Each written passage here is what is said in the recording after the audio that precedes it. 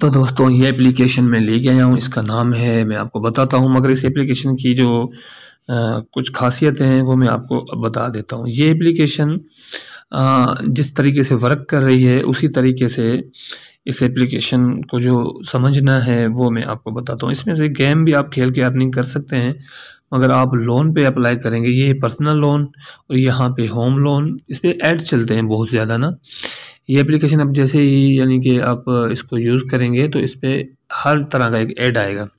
तो ऐड आने का मतलब ये हो जाता है कि ये एप्लीकेशन मतलब फेक है, जो बात है मैं आपको बताऊँ। क्योंकि जो रियल एप्लीकेशन होती है, वो प्रमोट नहीं होती। ये एप्लीकेशनें जो हैं, ये अर्निंग कर रही हैं, ठीक है? अब इनकी ये सारी इंफॉर्मेशन है, या आपने प्रूव कर देनी है, और उसके बाद जैसे कि आपने पेमेंट सिलेक्ट ये सर्विस टाइप ये सब कुछ जो है ना आपने इसमें वो डालना है और उसके बाद जिस तरह मैं बताता जाता हूँ, उसके बाद आपने ये इसका है लोन प्रोसीजर ठीक है?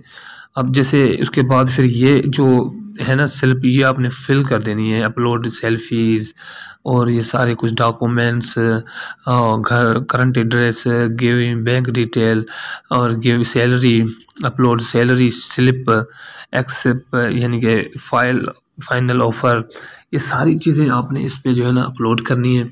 उसके बाद आप इससे लोन अप्लाई कर सकते हैं, क्योंकि ये लोन एप्लीकेशन की जो मैंने आपको बात बताई है कि इस लोन एप्लीकेशन से मैंने लोन तो नहीं लिया, मगर देखो हम एक सीनियर बंदे हैं यूट्यूबर हैं, हमें पता लग जाता है कि ये एप्लीकेशन कैसे वर्क कर रही है।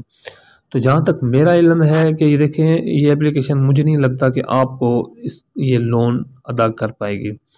मगर फिर भी इन्होंने ये ऑप्शन दिए हुए हैं। ये मार्केट में न्यू एप्लीकेशन आई हुई है। तो सोचा, आपको मैं बता दूँ, और ये लोन लेने वाला जो चक्कर है ना, इसमें इसमें ना पड़े तो अच्छी बात है, क्योंकि काफ़ी ज़्यादा लोग परेशान हैं इस लोन से। काफ़ी ज़्यादा लोगों के इस सूद से जो है ना घर तबाह हो गए तो दोस्तों, इस सूद वाले चक्करों से बचें। मैंने सिर्फ़ ये एप्लीकेशन फ्राडिया है। इसमें आपका डेटा सारा सिल्पें, घर के कागजात, हर चीज़ आपने इस पर अपलोड करनी है।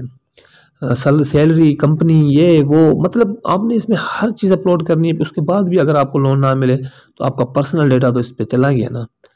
तो मेरे भाइयों, आपका जो पर्सनल डेटा है ना, उसको थोड़ा संभाल के रखिए, क्योंकि ये पर्सनल डेटा इतना आम नहीं होता, जो आप एरागेरी एप्लीकेशन में भी अपलोड कर देते हैं। तो थोड़ा सा ध्यान कीजिएगा इन एप्लीकेशनों से, क्योंकि ये एप्लीकेशनें सिर्फ़ लूटने आई हैं और इन एप्लीकेशनों का कोई काम नहीं है। तो अगर इसके एप्लीकेशन के रिलेटेड या किसी और एप्लीकेशन के रिलेटेड वीडियो चाहिए तो मुझे कमेंट्स में बता देना। वीडियो की इन्फॉर्मेशन कैसी लगी आपको कमेंट्स में लाजमी बताना। अल्लाह हाफिज़।